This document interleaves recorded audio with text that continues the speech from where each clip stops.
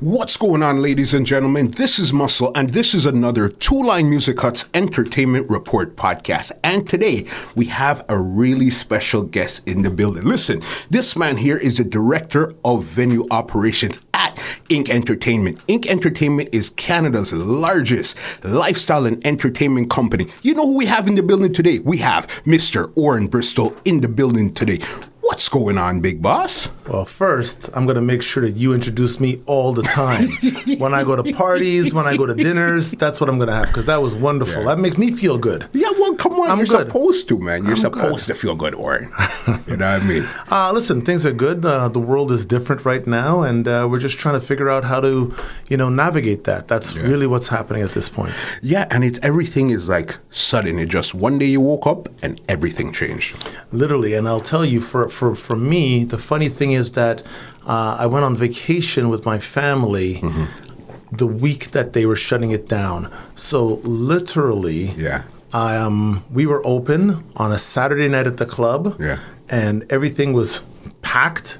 And then the next day, I was leaving on vacation, and I came back, and it was a ghost town. Everything was a ghost town. So while I was away in Jamaica with the family, I'm getting messages, I'm on emails, I'm on phone, and we're just getting this information about the shutdown. And originally, we thought it would be a couple of weeks. That's what everybody thought. Yeah. Everybody thought that. Wow. But now here we are like what what are we about five months in? Four months? We're five months in, yeah.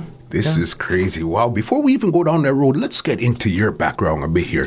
Mr. Orin Bristol, all right? We know you're the director of venue operations, Ink Entertainment. Mm-hmm. Entertainment is something that's been in your blood. How long have you now been in the entertainment field and what actually got you into the entertainment field? I would say that we're probably looking at around 26 years at this point, 26, 27 years. Um, I started while I was in school, when I was going to school, and I was working as a security guard because it was the easiest job to do um, and still get my studies done. I was working as a security guard in a building, like an overnight security guard. Um, and then somebody that I was uh, at the gym, gym with training said, Hey, we need some people to work in the nightclub. And that's how I started to get into the nightclub business. I moved here when I was 26 years old, moving here to Toronto, that is. Yeah. And when I was in Toronto, I got a job at a club called Limelight, um, which is uh, only the older people will know, but it's called the Rocking Horse now. It's a cowboy bar. Yeah. But I started to work at Limelight, and um, that's the guy that gave me my first opportunity. And it kind of went from there. I mean, uh, they eventually gave me a chance to be an assistant manager at Limelight, and then they made me the general manager at System Sound Bar, which is another venue downtown some people may know of. From System Soundbar, I went to Circa, and uh, you were at Circa. I ran Circa. Because Circa wasn't around for a long time, but the impact of Circa and how it looked and operated was mind blowing. Yeah, it was it was next level. It was uh, it was probably the first time I felt in my career that I was learning something new. Yeah. Um, because everything was next level. It was about the show. It was about it was about it wasn't just about people coming and partying and getting them in there, but it was what were you going to give them when you were there. And uh, there was an incredibly creative team there, led by uh, one Mr. Peter Gatien, who is uh, a legendary club owner and operator from the States, and uh, it really showed me something different. Unfortunately, as you said, it wasn't there for very long. Yeah. And after a couple of years, a lot of people and a lot of investors um, started to kind of try to turn the creative aspect off and just go for the money. Uh, Peter stepped out, and I left shortly after that because Mr. Charles Khabouth, who is uh, the gentleman I work for at Ink Entertainment, gave me a call and asked me to come see him for breakfast. And 11 years later, I'm still with the company. Wow, it's been 11 years with Ink, eh? 11 years. And what was that initial call like from Charles? Because if people don't understand who Charles is, Charles is the CEO of Ink Entertainment. And when you say Charles in certain circles, people's ears really perk up. You know, Charles is uh, is a visionary. He, um, I mean, a lot of people who watch uh, are watching your podcast might know Club Z. Charles started Club Z when he was a twenty-something-year-old man, and that's what he Okay. opened up. That was his first venue. They didn't know that. Absolutely. And that company now has grown to, um, you know, hotels, restaurants, nightclubs, day clubs.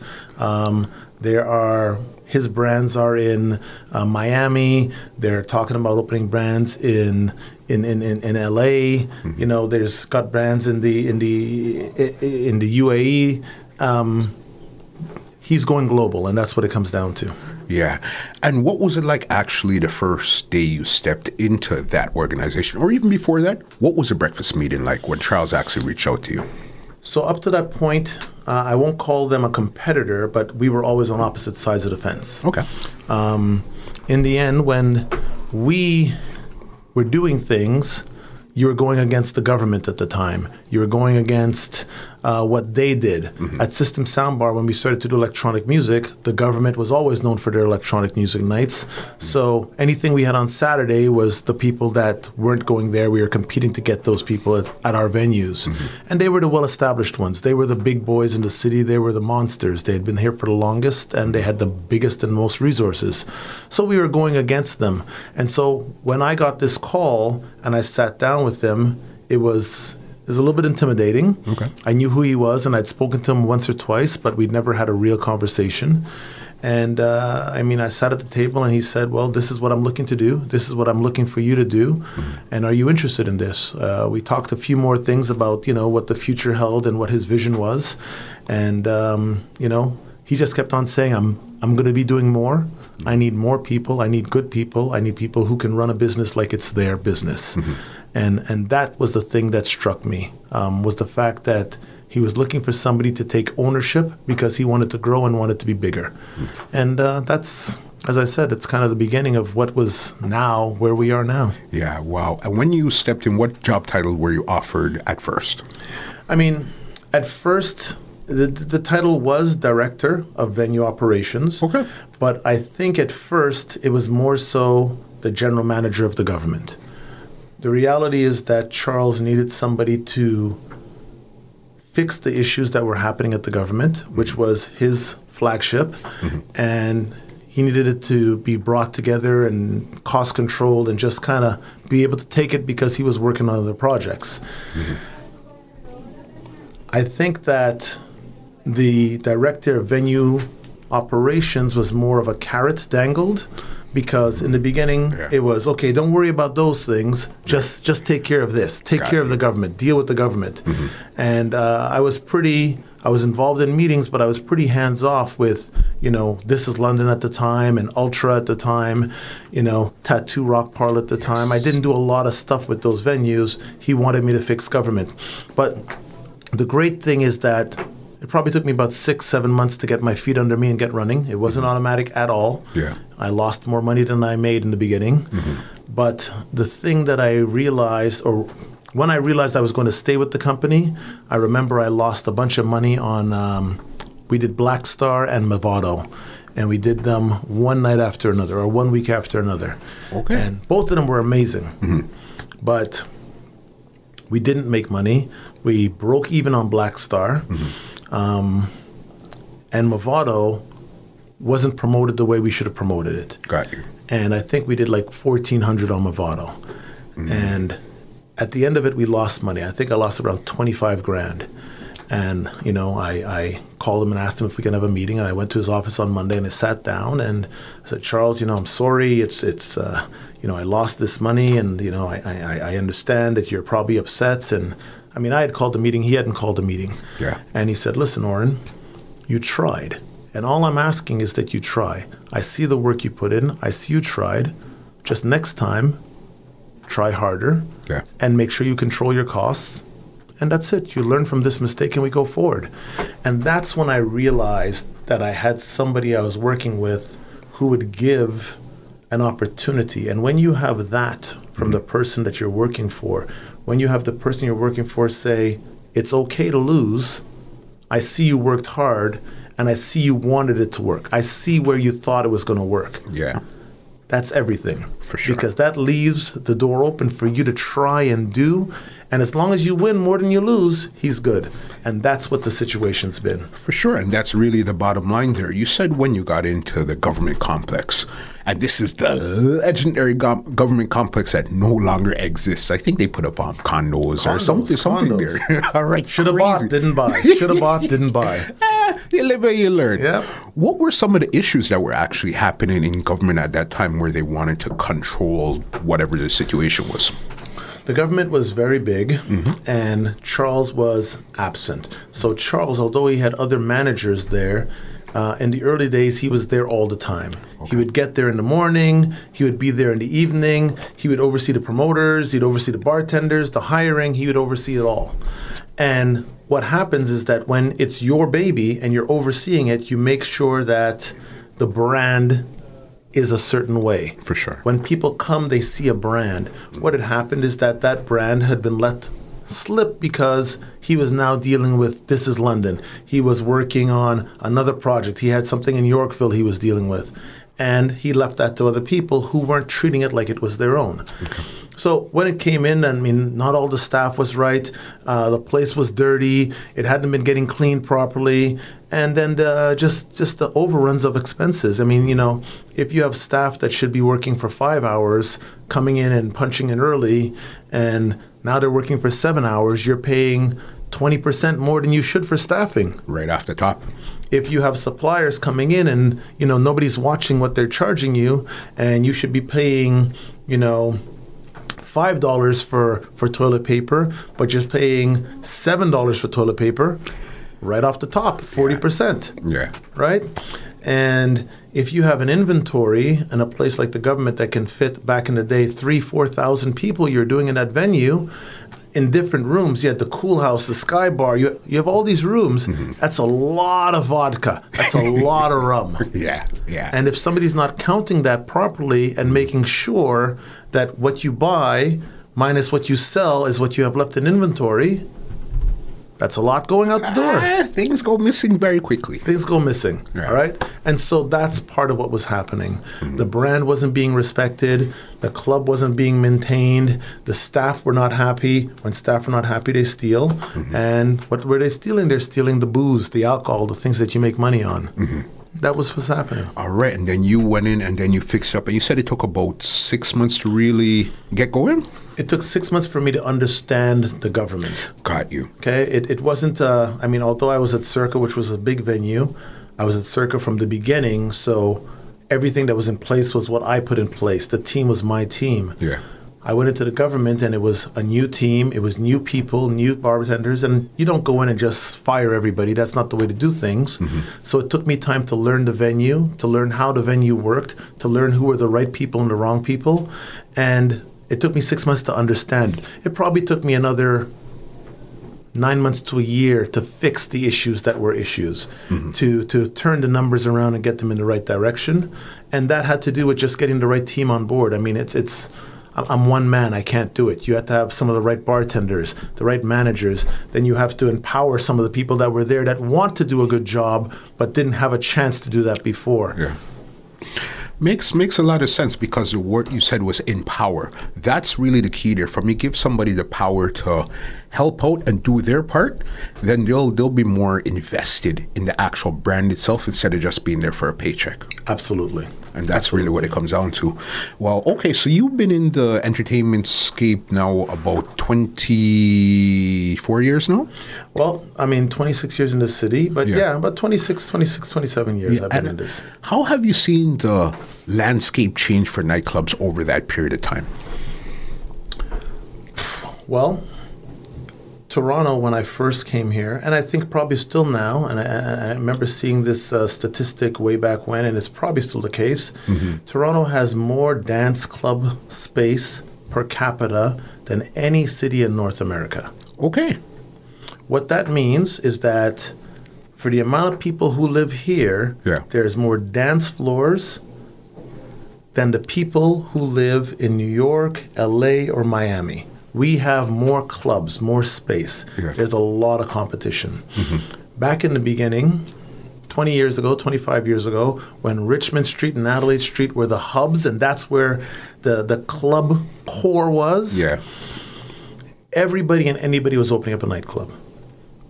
So they're operators, people who've been doing it for a long time, and there's several in the city that are, you know, legitimate guys and they've been here forever. Mm-hmm. And then there are guys who, you know, had successful businesses elsewhere, but they wanted to be nightclub guys. Everybody wants to be a nightclub owner, or they think they do. Yeah. You know, you you get some money, you get a space, 200 people. Now you're there, and it's the alcohol and the partying and the girls, and you're talking about how every time you go out on the weekend with your seven or eight friends, you guys always spend a couple of thousand dollars, and why can't they just spend it at your place? Well, your friends don't want to spend thousands of dollars at your place; they want it for free at your place. Uh-huh. And if you're going to be an owner operator and you know nothing about this business, then you're not going to operate properly. And you don't know about cost cutting. And all you're thinking about is the party and the glamorous life. And those people lost their money. And uh, a lot of those places closed. Then the city started to crack down and said, too many spaces, too many people not operating properly. And they really started to get tight on nightclubs and it really started to start to filter out the guys that were just kind of operating by the seat of their pants. Toronto's a very expensive city. Rents kept on going up. Yeah. And uh, it weeded out most of the people who didn't know what they're doing. Uh, by and large, a lot of the people who are here now are good at what they do. The city does not give out large licenses anymore.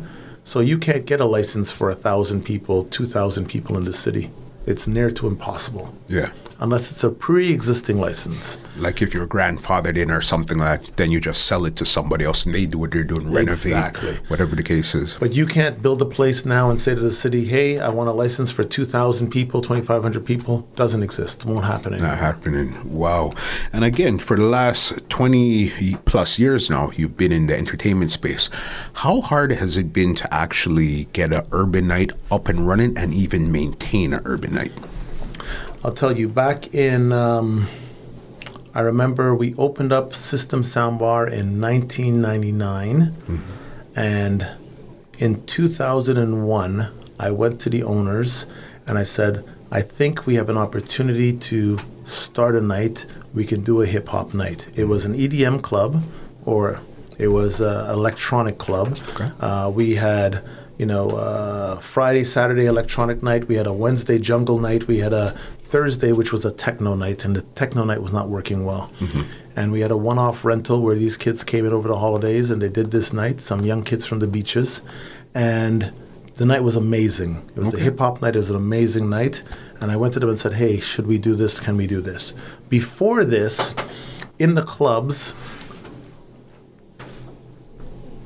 if the DJ on any given night played more than two or three hip hop songs, never mind reggae, Yeah. forget reggae, We're going to get there just now. forget reggae, not happening Yeah. unless it was Shaggy. yeah. Okay. it wasn't me. It wasn't me. That's it. but if he played more than two or three hip hop songs in a row, mm-hmm. the owner or the manager would run down to the DJ, yell at the DJ, tell him to take that off. Don't play that. Mm-hmm. Because they weren't allowed to do it. They played Euro beats and Geno beats and whatever, whatever you want to call it. Mm-hmm. Um, they played dance music. And it was because a lot of the clubs were afraid. They did not want an urban crowd. Okay. They did not want a black crowd. Fair enough. Okay.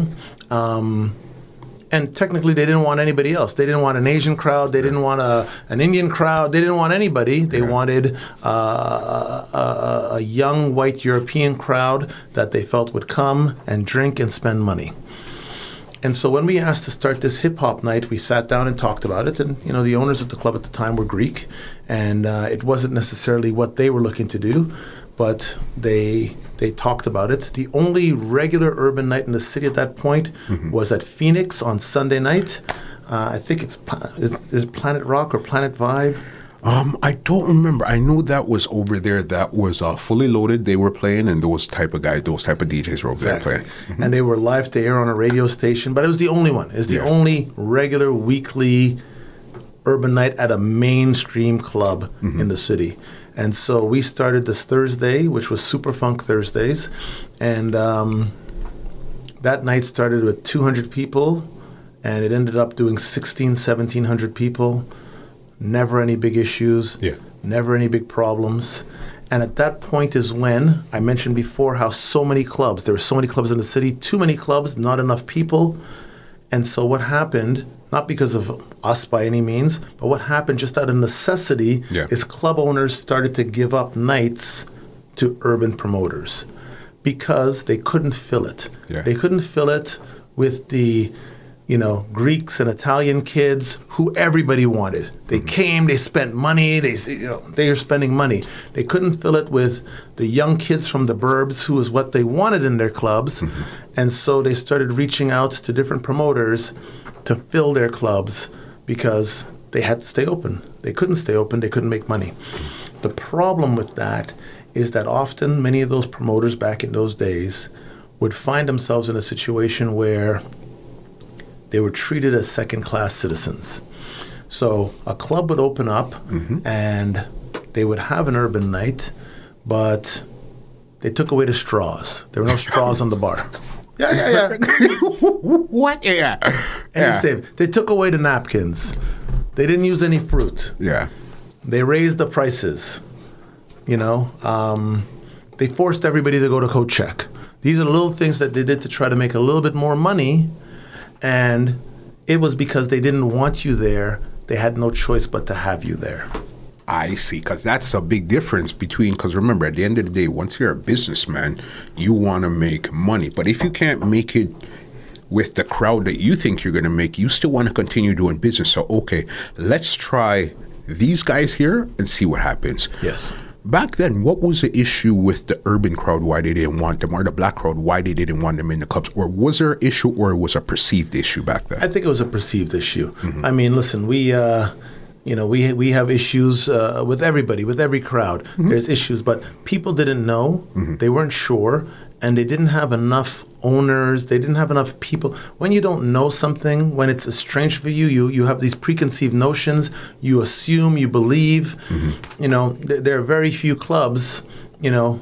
10 years from that time, by the time you got to 2011, that didn't have an urban night, you know? Um, and today, everybody has an urban night. Um, urban music, hip hop music, plays at every club. yeah. It's just part of what we do, and it's part of what the mainstream is. There's nothing more mainstream than that music. But at that time, that music was not a music that they wanted, and they figured, okay, this is going to scare my crowd away, and I don't want too many people, and what are the issues, and what do I have to deal with? And, and it's just, it's the unknown. It's the unknown. And if you don't have somebody who is bringing it to the table properly, then people just don't know. And if they don't know, they react, you know? Uh, and, and, um, a lot of people don't understand the w- difference between the word racism and prejudice. It's prejudice. Yeah. I'm prejudging what's going to happen when these people are here. Yeah. I don't know, but I'm prejudging it. That's what prejudice is. Yeah. And there was a lot of prejudice. And uh, unfortunately, um, and it wasn't just the black community because nobody wanted uh, anybody from the Asian community there, and they didn't want anybody from the Indian community there. Okay. Nobody who had their own parties, nobody who had a cultural party just focusing on their own community could get a venue, especially on a main night. You would have to go on the outskirts and do something in, in a banquet hall or a restaurant or whatever it may be. Yeah. You'll get a Wednesday night at the club where nobody's coming, but here's the night off. You try it out. There you go. There you okay. Urban, we're talking about that's more hip hop, R and B and stuff. Let's get to reggae now. Let's get to reggae. All right. How did the reggae scene actually come up in the clubs where you were involved? Where what actually made you say, okay, you know what, let's give it a chance to see how this turns out? Do you remember the DJs or promoters or even the night? I'll tell you that nobody came to me while I was at System Sound Bar and asked for a reggae night, Okay. and nobody ever came to me at Circa. So the first time, although I knew reggae promoters, the mm-hmm. first time I dealt with reggae promoters or just reggae as a music on a regular basis was at the Guvernment. Okay. And so at the Guvernment, I mean, and, and once again, when you're talking about a urban night and you're having hip hop nights, even at System Sound Bar, the DJ is playing reggae. It's part of the format. Yeah. You know, a 20 minute reggae set's going to happen. But there were no reggae promoters, and it was a reggae. You know, uh, it, it was it was it was reggae that was being played, and that was going to be the majority of the music format that night. When I went to the Guvernment, I started to meet a lot of people, and a lot of people came and saw me. Um, you know, among those people, you know, uh, the guys from um, Squingy and them. Oh, Reggae Cafe. Reggae Cafe came Yeah. to see me. Uh, White Boy came to see me. Uh, we did some business. Um, you know, shortly after I went there, um, Steenie came to see me. We did a lot of stuff. Realistically, I think it was more so Soca first. Okay. Because it was Dr. J was in there right away, and we started doing business right away, and that kind of opened the doors to everybody else. Because some of those guys played on his parties, mm-hmm. and those guys would come and talk to me, and there would be introductions made, so on and so forth. But those are the guys that I kind of started to deal with from the very beginning, mm-hmm. and it kind of went from there. Ian Wilshire was there, Caravana weekend, mm-hmm. you know. And but once you start to do that, I mean, although we did do Caravana parties at Circa and a few at at System Soundbar, most of those were once again just hip hop, not really reggae based guys. Mm-hmm. And you being the black directors of operation, were you the one signing off on these reggae events? So it's basically your neck is on the line if anything happens at any of these events, or what kind of position did that put you in?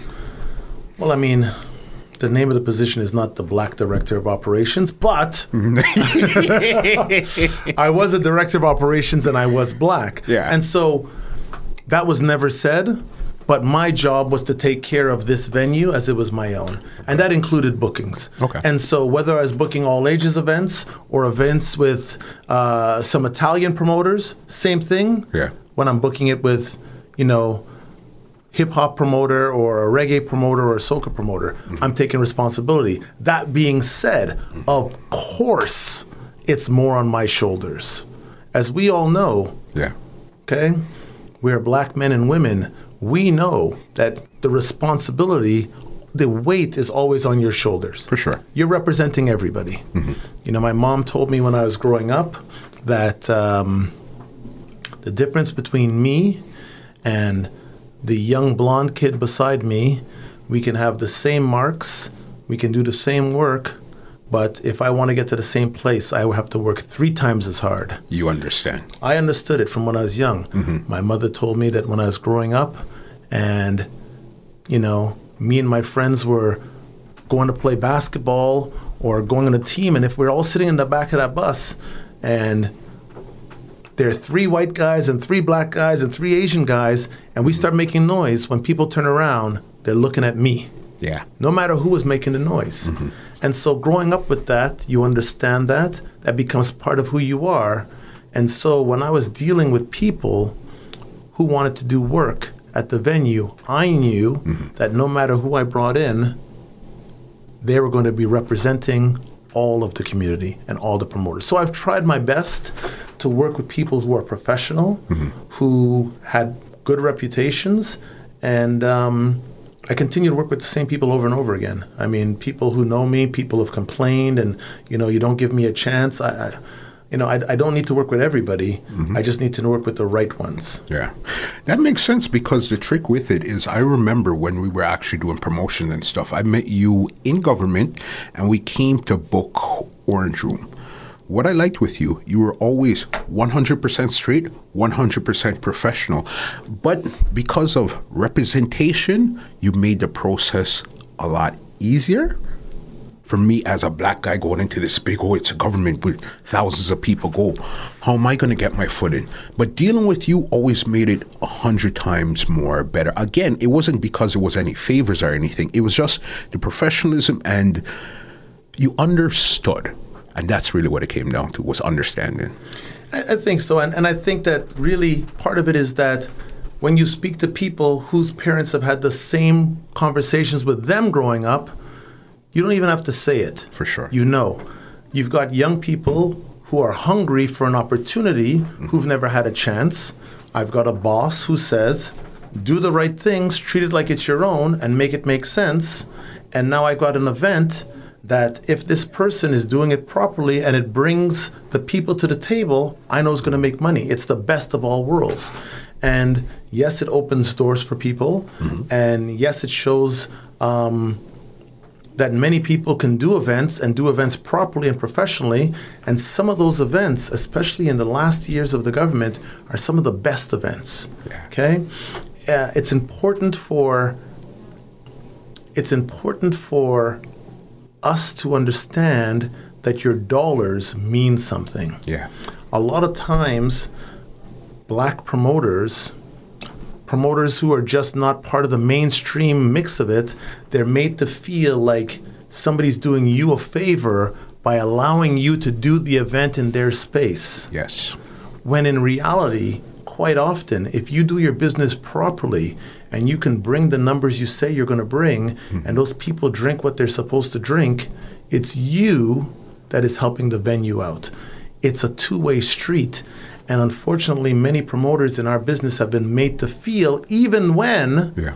the operator knows you're benefiting them, like if they're being done a favor. And so, once again, you're being treated like a second class citizen. Mm-hmm. And that's part of the issue. Yeah, definitely. And especially being in somewhere multicultural like Toronto where you have everything going on, you have seven nights a week, all type of parties going on. It's you really wanna feel when you go to a venue that they're respecting you as a person first and a business before who the color of my skin. And that's really important. And as I said, representation, you going into Orin's office, you know, okay, as long as your business is right. As long as that's the what a lot of people don't realize. As long as your business is right, Orin will deal with you. Absolutely. mean? And I'm not going to deal with you just because you're black. What do I care? Understand. Worse, worse Mm-hmm. Yeah. for me to do you a favor just because of the color of your skin. Because you're going to mess it up for the next dude who's getting his stuff done properly. Yeah. Okay? As long as it's right. Just like I would deal with anybody else whose business is right. And that's all people want. Yeah. That's all they ask. Agreed. And you being around for so long, you understand how it is and you understand how people would feel. So you try your best to make them feel comfortable. You're doing proper business, so let's do it. Yeah. You understand? Wow. Spoke about the Guvernment, a legendary Toronto venue. All right. When it closed down and went to Rebel now, all right, what was the biggest difference you found was the operations of Rebel versus a Guvernment? The Guvernment was this legend, um, this Canadian legend. Actually, it was known around the world. You know, a lot of massive DJs, a lot of artists. Like, there's so many people who've played in that venue. But I came in on the tail end. Okay, um, the glory days were done. Okay. What it was is that I had to use some uh, duct tape and uh, and then and some spit and Yeah. hold it together. Just keep Yeah. it together Yeah. uh, until Charles' next evolution came. And so, although it was my baby at the time and it was this big monster of a club, it was it was new. I, I had missed the glory days. Got you. I didn't go as a customer because I was working at the same time anyways. Mm-hmm. I'd been there, I worked once or twice, I'd been there to see shows, but I wasn't there in the glory days. Rebel, I got to be there as part of the I got to be there in the conception of it. I got to sit in the boardroom and listen and hear. Uh, I got to argue and debate. No, this should go here. No, the bar should be here. No, this doesn't make sense. Yeah. You know, I got to once again. I told you that was the when I worked for Circa was the first time I learned anything. Working for Charles is the second time I learned things that I didn't know before because I was in a situation where, you know, when you build something that big, you can't just say bar, bar, bar, dance floor, DJ booth. You got to say people are entering this way. How many people can you enter in how much time? Where are they exiting? Where's the fire exits? How high should the bar be? How high should the steps be? How high should the stage be? How will people see from the back of the room? What are we going to do when there's a concert? What are we going to do when there's a corporate? What are we going to do when it's a nightclub? What are we going to do when it's a different kind of nightclub? Okay. All of those things have to be taken into consideration. Mm-hmm. Okay? We're building the biggest venue in the city. What do you do with a venue that can fit that many people? How do you get people to stay in the back? Yeah. You know? And it's one of my favorite stories because people love the view. I mean, the Ray Cabana is successful because people look out and they see the skyline of Toronto. Crazy. And we had, I mean, Cabana, this is eight years of Cabana right now. But Rebel is only three years now. Okay. Okay. This is our, our Rebel's fourth year. And and how do you get those people to be in the back? Why would you want to be in the back? Yeah. And what he came up with was to make the whole back wall of the building glass. Yeah. And so now, the one thing, when you see Cabana, when you Google Cabana, when you look at Cabana, more than any DJ, more than any bottle service girls or bikinis or pool, you see the skyline. People stand and they take that picture. Now, inside Rebel in January, you have the opportunity to still take that picture with the skyline behind you because the whole back wall is glass. Yeah. Most of that wall actually is collapsible and it can move open, so it's a big movable patio that you can move around. Okay. And just thinking about that, thinking about that when we hadn't even poured an ounce of concrete, how do you get people in the back of the building so that they'll want to be in the back of the room and they won't feel like this is the worst place to be? Yeah. Those are the things you learn when you're doing something from scratch. Yeah. And Rebel is that monster. I think it's probably one of the craziest clubs I've ever been. The only club I could think that seemed somewhere close to that, and this was on a mini scale, would have been Circa. Yeah. Because Circa had the elevator, not the elevator, escalator, Escalator. inside and all of those stuff there. So then when I went back to Rebel, because I was there when it was Sound Academy and stuff, Yep. when I went back, now Rebel, this was okay. you guys, you guys are serious over here now. Yeah, yeah. I mean, people talk about the renovation of Sound Academy, but we didn't really renovate it. We we took the building down. Yeah. We ra- we literally raised the roof Yeah. so it would be higher ceilings. You know, we added where that balcony is on the mez. Mm-hmm. At Sound Academy, that was just a glass wall where people could look out. Yeah. So we had to add a balcony. That thing is elevated, and that was never there before. We created Mm-hmm. space in the air that wasn't there. you know, those rings that come down are astounding. I mean, I'll tell you, it's it's funny. One of the things my wife said. Mm-hmm. Um, Probably two years in, two year anniversary or something, I sent her a video and she said, Orin, you've sent these videos of these rings Uh. like 30, 40 times. Like, it's the same thing you're sending. Is there an artist on stage or something? Like, no, but look at these rings. They're amazing. Yeah, no, they're crazy. And, and it's wonderful to be able to go to work two, three years in and still be amazed at what you see because it is so next level. Yeah. You know, it is so next level.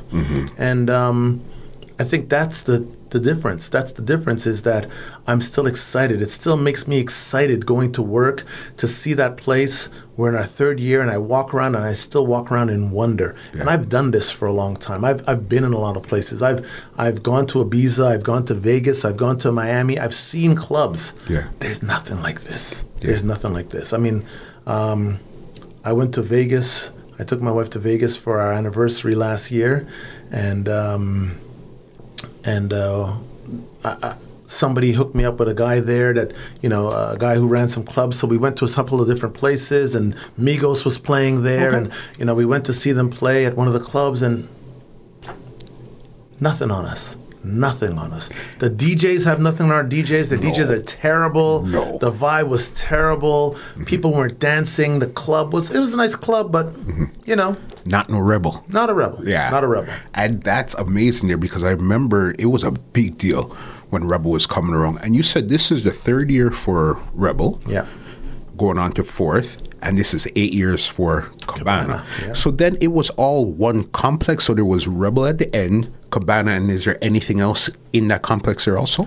Well, listen, we have the other small rooms. Noir is the place that people know. The Solarium is now Noir, and that's part of what it is. But it's Rebel and it's Cabana. At first, when it was just Sound Academy, I mean, Sound Academy used to be the docks. Yeah. And for people who've been here for a long time, the docks had an infamous patio. On Sundays, they'd do these crazy parties. There'd be 10,000 people. Yeah. It was insane. It was another one of those insane nights. And then when the docks turned to Sound Academy, it became more of a concert venue. And then when the owners made a deal and we ended up buying that as Sound Academy, right away it was to do Cabana. We did Cabana right away, and that was Charles's vision to do this outdoor patio, very Miami kind of feeling place. And, and honestly, we didn't know it would be this successful. Yeah. Uh, the numbers that we forecasted, we were way above those numbers. That's not what we we intended it to be. We were hoping, oh, you know, maybe we'll do 16, 1700 people on Saturdays and we'll do 2000 on Sundays and it's been wildly successful. Yeah. Um, and part of that success is that it's seasonal. It's Toronto. So every May, June, it's brand new again. Yeah. People are excited, Yeah, right? yeah. You don't get time to get, you don't get a chance to get used to it and bored with it. Yeah. And um, so, you know, it's been exciting. And, and that's, I guess, the difference. It's that to have this outdoor, indoor thing, and both of them are premier venues in this country. Mm-hmm. Uh, people coming from the States, premier venues. You know, artists come through. You know, we've had almost everybody on that stage, and all of them have been like, wow, this is amazing. Yeah. You know, um, I, I, I watched Cardi B. She's been on that stage three times, and every time she's like, "This is amazing! This is amazing!" And it's not just the thing that she's hyping up the crowd because backstage she's saying the same thing. Yeah. This venue is crazy. I love this venue, and and I think that's that's really what it comes down to. Quavo did the same thing. He said the same thing. Everybody says the same thing. The venue is astounding, and um, it's very impressive. Yeah, you guys hit it on the mark when you decided, like, this is the vision, this is how we plan on executing, and you guys did it. Yeah, yeah. All right. But now this is where everything changes now. We're in 2020. All right. Middle of a pandemic. Mm -hmm. With Ink Entertainment, I know you guys, I think you guys have, I think, 15 or 16 buildings and a couple of venues. Yeah. All right. Yeah. When pandemic started, how did that affect the business? I'll tell you, um, panic. Okay. Uh, what are you going to do? I mean, once again, after we realized it wasn't going to be a month, you know, after it became real, it became real for everybody. Because, you know, what people don't realize is that uh, regardless of if we're open or not, we still have to pay rent, still have to pay insurance. Okay. Um, we've got a staff of over 2,000 people working, um, which the company kept on board for a period and you still have mortgages to pay. You have to pay everything. The bank is still waiting. The landlords are still waiting, no matter what. There's several places that closed down because they couldn't handle it and uh, they weren't ready. And I guess in times like this, is you're going to get to see, or we got to see, which venues were real and they were real companies and they had money put away that they could deal with this. And there are people who were just flying by the seat of their pants. And if you're flying by the seat of your pants, you weren't going to survive. You know. Um, we talked about different things and and and you know once again um, the vision charles and the team that we have on board is they came up with when they said we were going to let people go on patios again Okay. and, and and they didn't say it right away but we saw it happening in the states and in other countries europe was doing it and it seemed like canada was following suit with a lot of those things and in europe um, they were letting people back on patios to eat with Yeah. distancing. And the owners sat down and made a decision that we were going to do um, what amounts to around a $200,000 renovation, $200,000 worth of work, not renovation, worth of work, prepping Cabana Yeah. in the assumption and the hope that the city would say you can open up patios Yeah. and you can serve food. Cabana is a restaurant and it is a day club. It's known as a day club, but we've always served food. Okay. And there's a full-on kitchen there. Yeah. So they they rolled the dice, and fortunately, the city did say yes. If you're a restaurant with distancing, you can do this. And so now the biggest day party in the country has converted to the biggest restaurant in the country. Um, you know, we have everybody seated between six and ten feet apart Yeah. and we're able to sit around 400 people at a time. Okay. We didn't know how this would work, but we are we are slammed. You cannot get reservations. If you go right now on Open Table and try to make a reservation for Saturday, Yeah. you can't get it because there's 1,200 reservations ready for Saturday. And this is for Cabana. This is for Cabana Waterfront Patio, which is a restaurant. Yeah. It is So, just a restaurant. so you guys aren't doing the um the parties and stuff right now at Cabana. No, sir. We are open seven days a week. Yeah. every day except Monday. Okay. We're open from noon till 11 p.m. On uh, Monday, we're open from 3 till 11 p.m. Mm-hmm. And we have lobster Mondays, uh, dinner and a movie on Tuesday. We have uh, we have a barbecue night on Wednesday. You know, Friday, Saturday, Sunday is just it's just slammed, and we haven't had a day off. My team Yeah. hasn't had a day off. That's crazy how quickly you have to pivot and make it happen. But again, you guys pivoted in hopes of this happening. There was no okay. Yes, it's going to happen. We're hoping, and again, you're not spending. Okay, we'll spend thousand dollars, 3,000, even 50,000 to get this done. No, you guys went all the way in hopes that this happens. Because again, I know it seems like if it didn't work out, you guys were willing to pivot again into whatever would have made it happen. And, and, that's exactly it. Listen, we knew that they were going to make an announcement, and then they're going to say four days later you can open. Yeah. and you can't get Cabana ready in four days. Yeah. You know, uh, it's an outdoor space. It, it, it has to you know it was winterized you've got to sand everything you've got to stain everything you got to you know you got to take care of the patio stones you got to repaint everything you've got to get new furniture because of course we were a club before and now you need so people can eat dinner. Yeah. So you need proper tables and chairs, and so we had to get a bunch of stuff that we didn't have. And as I said, that was a two hundred thousand dollar roll of the dice mm-hmm. um, before we opened the doors. And yeah. then they let us know on a Monday, hey, you guys can open up on Thursday. and, right, and you're ready. And, and we were ready. You're ready. Let's we go. We were one of the first people who were ready. Yeah. And you know the view, and and and and and and, and you put it out there, and people said, yeah, yeah, Cabana. Yeah. And in the beginning, it was more so our regular customers who came out, mm-hmm. and people thought it was going to be a club. Yeah. And then you got to go and say, sir, you got to sit down. And no, there's no dancing, yeah. and there's no DJ from you know Monday to Thursday, mm-hmm. it's just a playlist. It's a Spotify playlist. And then when the DJ is here, he's playing, but the, it's low. You can talk. You yeah. can have a conversation.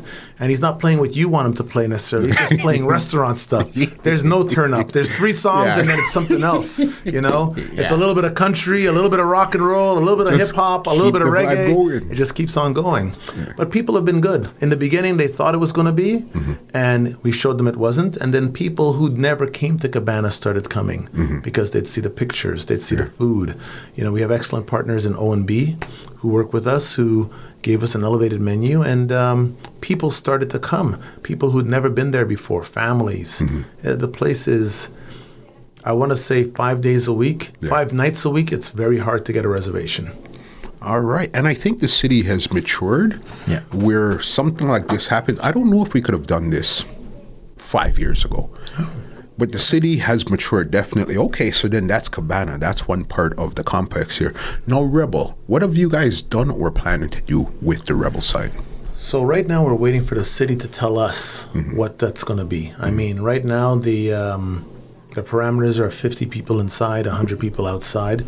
I think that might be a personal thing, like mm-hmm. you having 50 people in your home as a party, or if you're, you know, for a funeral or whatever it may be. So we, we just have to wait for clarity. And I mm-hmm. think they've pushed it back, stage 3 mm-hmm. till this week. So stage three has said that basically restaurants are able to open inside okay. with distancing and uh, in those areas that are not affected, and in, in, those areas, I think it's just York and Toronto that's not able to be in stage 3 mm-hmm. People have people inside in a restaurant, and they're able to do that with distancing.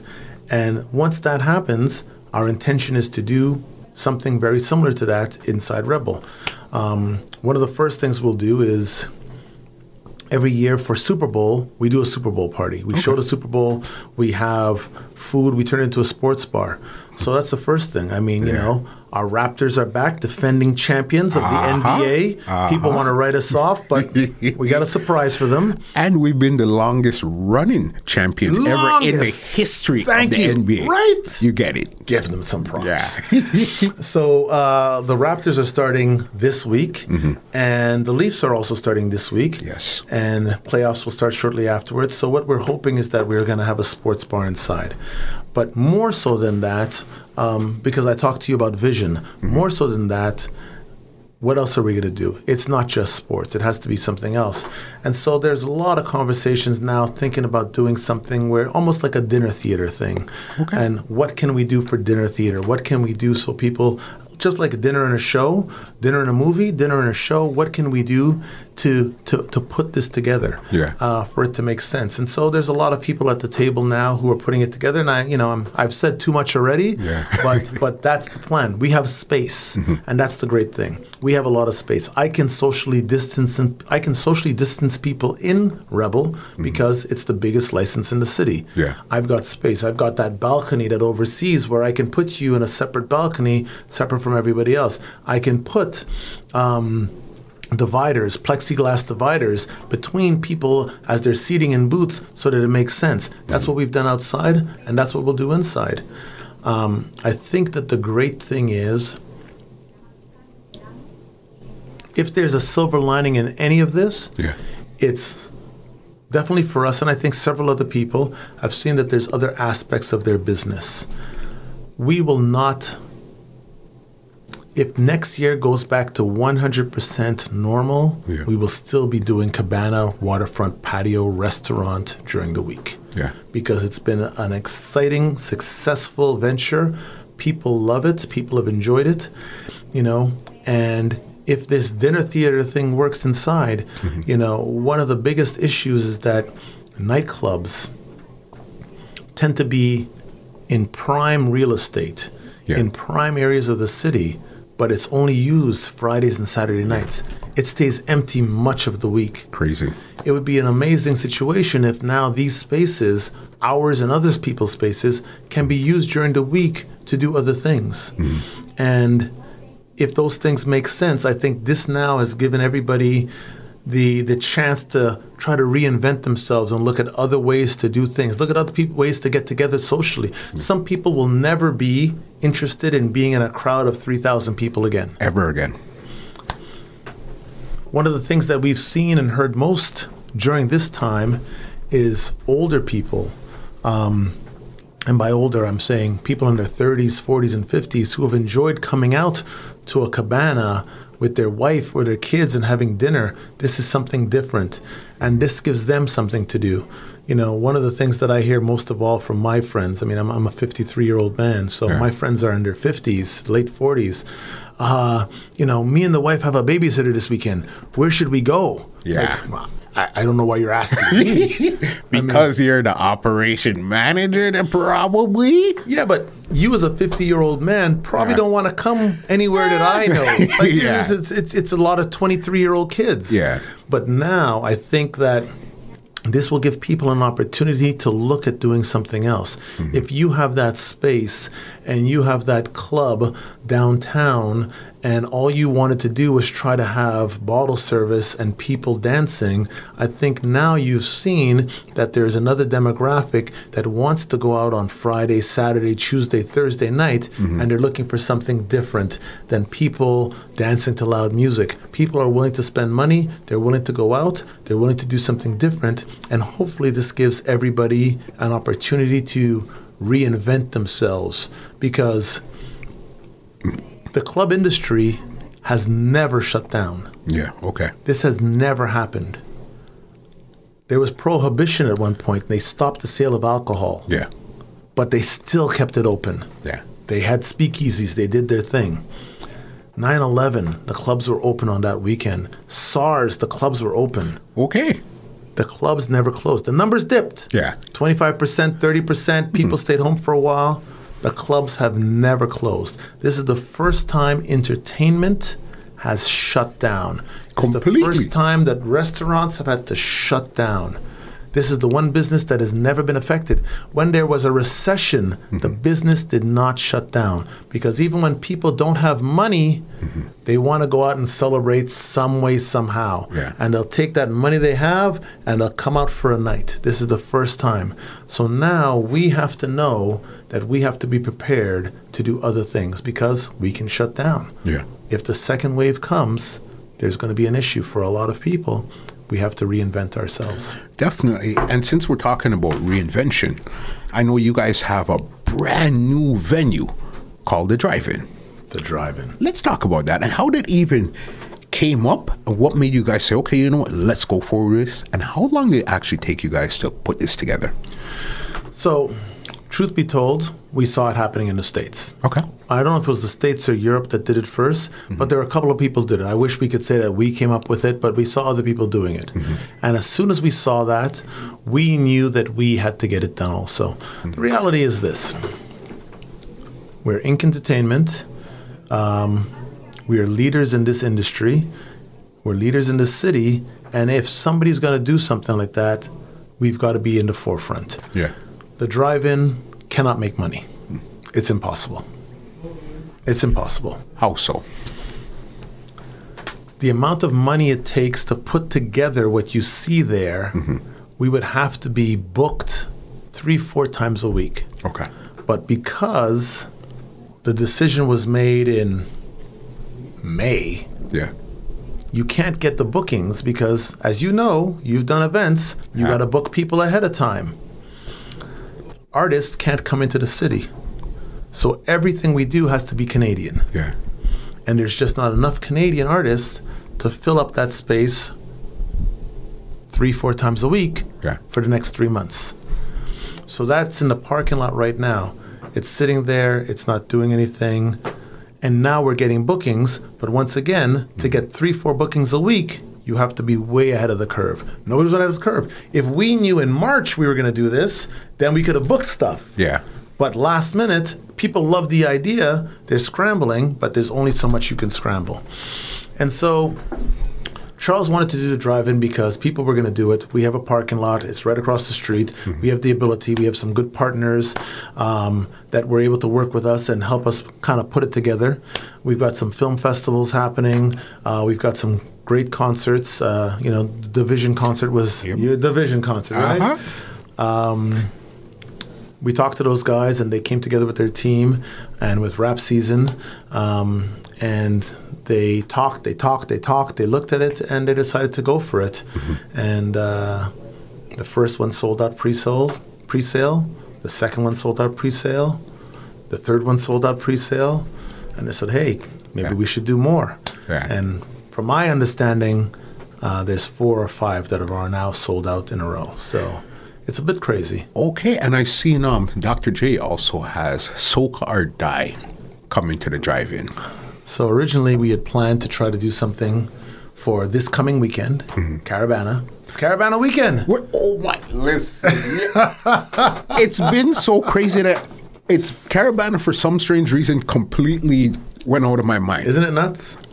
Come listen, and Caribana has been my thing professionally for the past 24 years. You know how many years they haven't done Caribana? Zero. One. One. This is the first year they haven't done Caribana. this is what it is. We have to think about doing things differently. Mm-hmm. So we talked to a bunch of people and you know we were trying to get stuff for Caribana weekend, but once again, this came to fruition two and a half, three weeks ago. Yeah. It didn't make sense. The idea was to try to get it done for this weekend. It didn't make sense. We couldn't get it done. Jay decided to do something later in August, and uh, you know he wasn't sure. He wasn't sure if people are going to be interested, if the community was going to be interested, because you know part of the biggest problem is this: you have to stay in your car. Okay. You have to stay in your car. Yeah. Okay, you can't get out of the car. Okay. You, you look skeptical, Sheldon. You look skeptical. What's happening? Why? Why are you? This is a bit concerning for me. Anyway, okay. you have to stay in your car. All right. So you have to dance in your car. Okay. You can't get out of the car. It's gonna. You know what it is. Listen, I think right now people are willing to try almost anything because if you've been down for three, four, five months, you're gonna say, okay, clearly I can't go on a fet and go do what I want. I can't go to a concert, go do what I want. So they're doing a drive-in. Let me try that at least. Absolutely. If you said that to me six months ago, mm. I'd probably look at you like you're crazy. Why would I want to do that? Yeah. Nah. Now, today, totally different story. Absolutely. Wow. And so, I mean, Jay is not doing a party; he's doing a concert. So hopefully, that is gonna get people to kind of follow it. And if they do it well, maybe there'll be two or three more of those bad boys. But um, I mean, he he released it yesterday, and 15 minutes in, he called me and said that uh, look at this, and there were already. Uh, 855 likes and there were 95 comments and the engagement has been crazy. He sent me the numbers today and it's insane. And he hasn't released the artist. He hasn't released what he's doing yet. He just teaser, you know. So it's exciting and uh, you know we hope we're able to do many more of them. But um, yeah, Yeah, well, this is welcome to 2020. yeah. You know what I mean? And especially, you brought up one thing. This is going to be the last thing I'm going to ask before I get you out of here. Caribana, which is one of you guys' biggest weekends. All right? How are you Not guys- one, not one.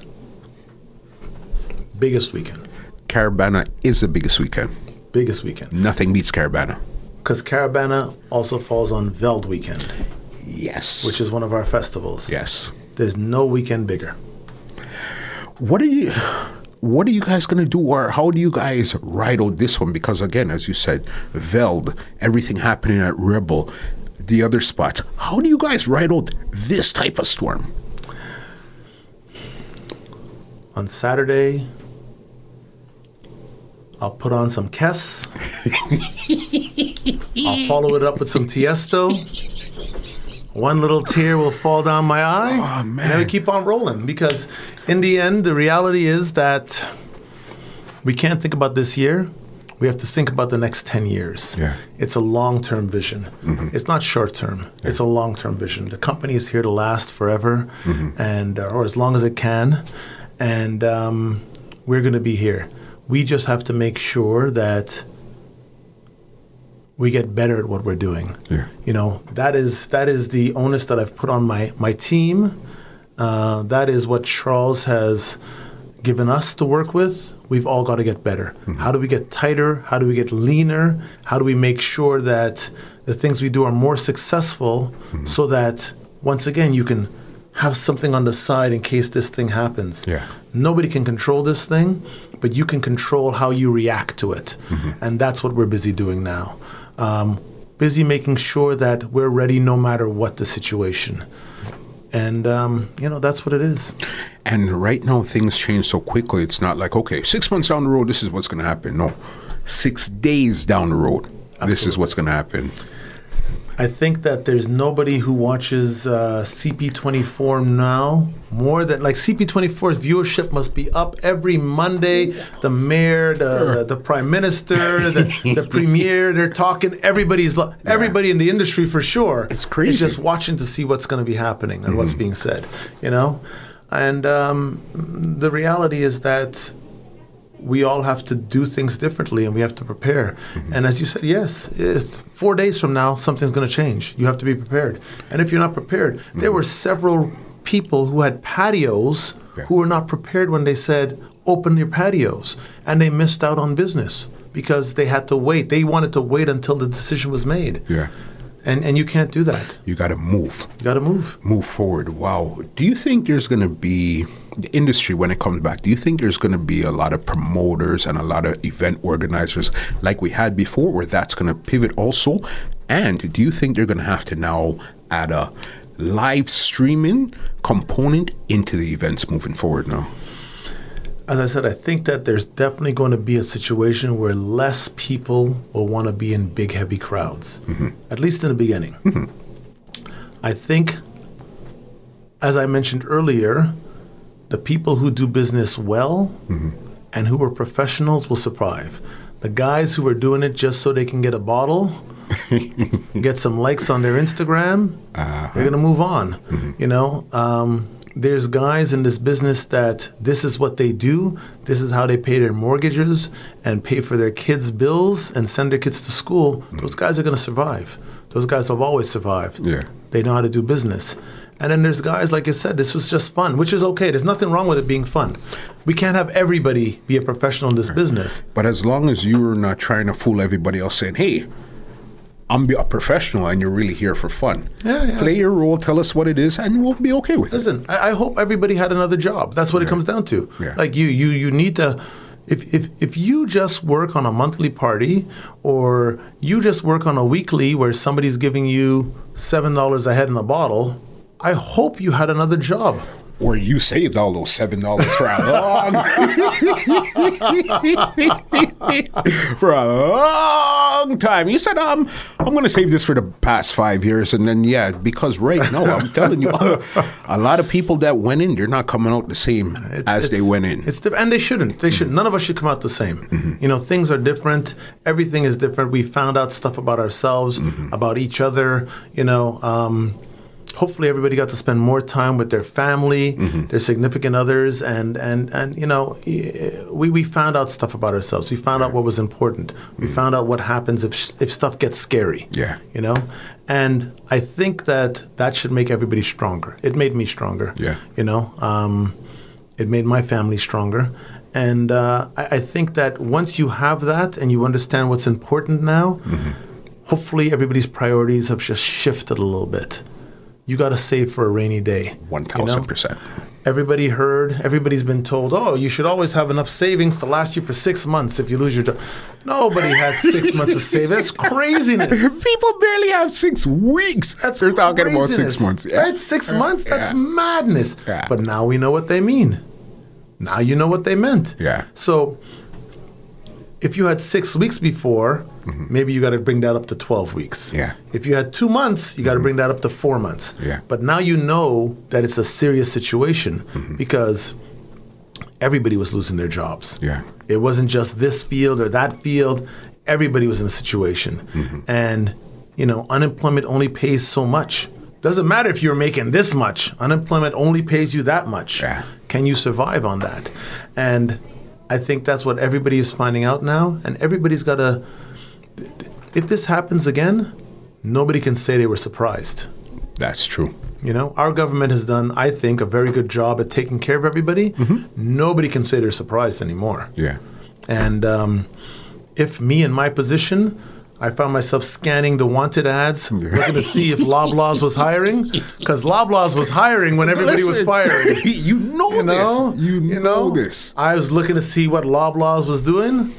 Then you should be looking to see what you can do also. You understand. That's the truth. That's facts, man. Mr. Bristol, it's always a good time whenever we connect. Absolutely. If anybody wanted to check out what's going on with Ink., even check you out personally, hook up with you, professionals want to book the venues or whatever whenever they come back, leave some contact info. Listen, the best bet is to go to the Ink Entertainment website, um, which is uh, inkentertainment.com. That has all our venues on there. It has our contact information on there, and you'll send an email. And even if it's not directly to me, because some people don't like me, I don't need them to send me stuff directly. I just, you know, Needs to be not everybody's my friend. Needs to be but, filtered. But but you can send that email, and it'll get to me if you're interested in doing whatever it is. I mean, right now, I- I've had some people send me messages and say, hey, we're looking at renting. We're not doing anything right now. Mm-hmm. The reality is that if you're looking at renting the venue for next Caribana, we're not going to answer the email because we don't know what's happening next Caribana. Yeah. If you're interested in doing something in uh, the drive-in, absolutely send it, and we can have that discussion and see what the parameters are. But once again, Yeah. I'm not renting the drive into somebody who can only send me a flyer that they did at a restaurant that moved their tables across. It doesn't Yeah. make sense. Yeah. It won't make sense. Yeah. And um, you know, uh, I think most people know how to reach me. And, and if you don't, you can find somebody who knows how to reach me. I'm very able to reach. But, but that's it. It's, it's inkentertainment.com. It has all of our venues on it. You'll be surprised the things that we do. Uh, we run three festivals. We have venues all over the place. And, um, you know, that's us. Trust me, I remember the first time I went to the um, office, I think on Bloor Street. Mm-hmm. I was thoroughly surprised. It was just through a little little door, but you see, after you push that elevator and it open, totally different ball game. I was convinced 10,000% from there. Yeah. You know what I mean? It's legit. Orin, thank you so very much for actually coming out of your office and coming to mine because Thank this is something invite. special. Thank you for the invite. You sir. understand? Thank you. Well, ladies and gentlemen, this is Muscle, and this has been another Two Lined Music Hut's Entertainment Report podcast, and we are out. This podcast is brought to you by www.twolinedmusichut.com.